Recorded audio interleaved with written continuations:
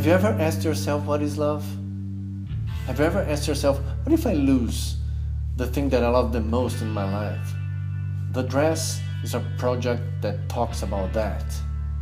It talks about the love between a father and his daughters.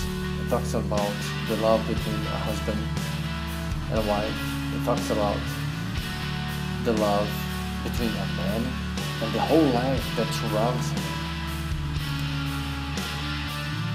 And we need your help to tell this story that hopefully will change the way you see life, the way you understand love, the way you understand loss, and the way that love keeps life going on and on and on.